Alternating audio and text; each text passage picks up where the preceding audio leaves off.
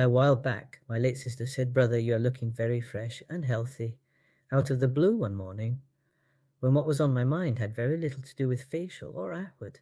I was preparing to go to work. Well, what prompted that comment and why? Now, I have a big flaw, and my initial reaction is silence. I am tight lipped, so I looked at her, smiled puzzledly, half preening for her comments, but that comment, as you know, triggered the thought machine into providing a response.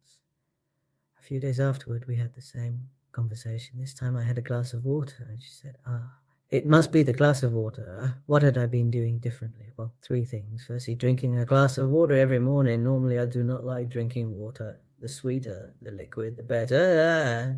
Secondly, exercise regularly every morning until I clock 150 press ups. For some reason, I would do a little aerobics first, this without being taught. Uh, it must have picked it up somewhere. And, and thirdly, improved my diet. I eat lots more veggie protein, especially black eyed peas, eggs, multiple mini bites per day, rather than full meals, except on occasions, serenading out with colleagues.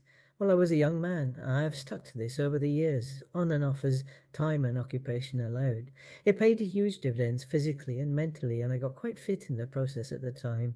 So you ask how fit am I now? Well, I'm not so young, but still keeping up with the younger folk, around 150 press ups. Well, I am still working at it. If I hit 53, I am happy these days. What has this to do with artificial intelligence? As per current trend, it can take our health and personal data and use it to work out what type of exercise to do that would achieve our specific and suitable goal.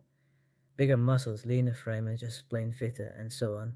Please subscribe and add your views below.